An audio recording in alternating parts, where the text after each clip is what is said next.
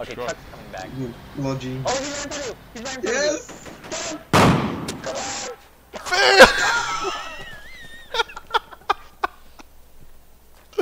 Ah, he was too close. I was aiming for the top of the hill. I just went right through him.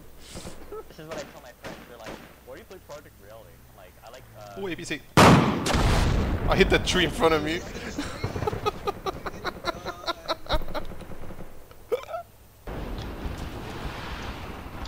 Striker! Hit! Thank you. I'm getting angry. I'll hit the little bird.